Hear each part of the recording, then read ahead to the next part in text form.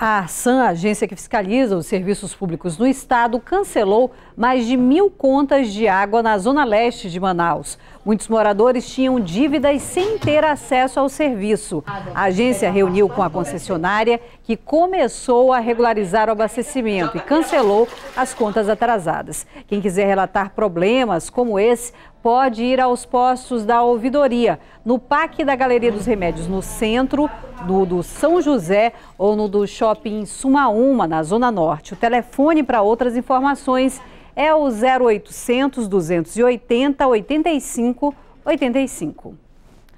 A capital continua em alerta para um surto de zika, dengue e febre chikungunya, mas o número de casos tem diminuído. Hoje foi dia D de combate ao mosquito em Manaus.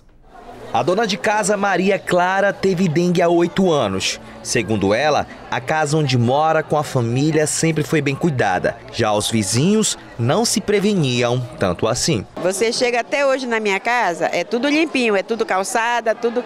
Mas só que meus vizinhos, tanto um do lado como do outro, é maior imundícia, é maior porcaria. O dia D de combate ao Aedes aegypti começou a alertar a população da capital e do interior sobre a importância de combater o mosquito transmissor da dengue, chikungunya e zika. O Aedes, ele é doméstico, ele vive conosco, dentro da nossa casa. Então, é muito importante a adesão da população, a corresponsabilidade com a sua saúde. O período mais crítico de infestação do mosquito é entre os meses de janeiro a março, época de chuva, mas o alerta serve para o ano inteiro. Preciso mobilizar toda a população, toda a comunidade, para que a gente enfrente novamente é, é, o risco de ocorrência dessas doenças transmitidas pelo Aedes aegypti. A dengue teve uma diminuição de 48%. A zika reduziu 89% e a chikungunya 43%. Mas apesar dos números positivos, nove bairros em Manaus preocupam. Nós estamos agora vivenciando o período mais propício né, de reprodução desse mosquito, que é o período de chuvas, e vamos intensificar até final de maio. A melhor forma de se evitar é combater os focos de acúmulo de água, locais propícios para a criação do mosquito transmissor. E muitas campanhas são realizadas nessa época do ano, né? E a gente, às vezes, na intenção de ajudar, esquece de se informar. É preciso ter cuidado. O Juizado da Infância e Juventude tem alertado para possíveis fraudes.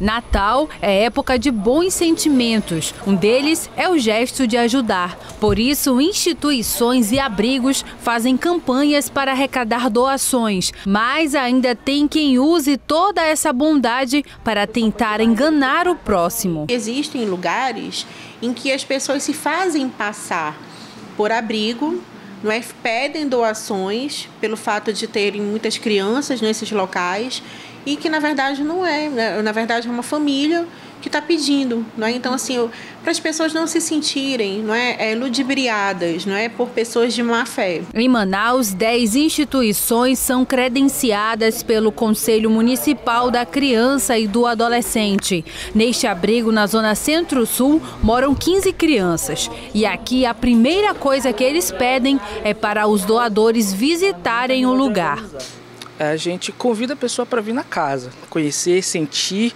a aura das crianças e saber qual é a causa que ela está apoiando. Esse é o nosso maior legado, é trazer a pessoa para dentro de casa e ela saber onde que ela vai investir. E ela vê cada rostinho, ela vai ali identificar onde que o amor dela vai estar tá sendo melhor credenciado. Os 10 abrigos credenciados acolhem cerca de 200 crianças e adolescentes vítimas de maus tratos e abusos. O doador pode acessar o site do Conselho Municipal da Criança e Adolescente. Começa amanhã o espetáculo Um Sonho de Natal. Ele é realizado todos os anos pela Nova Igreja Batista. Em 2017, eles foram buscar inspiração na África para contar a história do nascimento de Jesus. E nós acompanhamos o ensaio. Na plateia, uma multidão e muitos aplausos. E olha que era apenas um ensaio. A senhora se adiantou, não aguentou esperar? Não, não aguentei não, porque a minha princesa vai estar ali no palco e eu vim ver. Mas quando se trata do espetáculo Um Sonho de Natal, é sempre tudo muito exagerado. O evento ficou conhecido aqui na capital pela grandiosidade. São mais de 1.500 atores dividindo espaço no palco durante uma hora e meia de apresentação. A peça conta a história do nascimento de Jesus por meio de várias atividades artísticas. A gente trabalha isso o ano inteiro. Quando as pessoas vêm, é uma alegria para o nosso coração, porque a gente tem tanto trabalho. Todos os anos, o espetáculo relembra a história do nascimento de Jesus de um jeito diferente. No ano passado, o tema foi a Floresta Encantada, mas esse ano, os produtores resolveram ir mais longe. Atravessaram o Oceano Atlântico e pararam no continente africano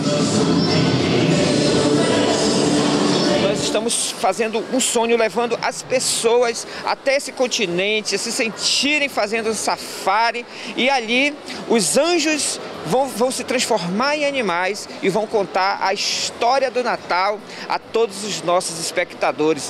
Ao todo, vão ser 18 dias de espetáculo. Durante a semana, apenas uma sessão por dia a partir das 8 horas da noite. E no dia 23 e 25, que é um, um dias que vem mais gente, nós vamos ter três sessões: às 15 horas, às 17h30 e às 20 horas. A estreia é amanhã e a entrada é gratuita.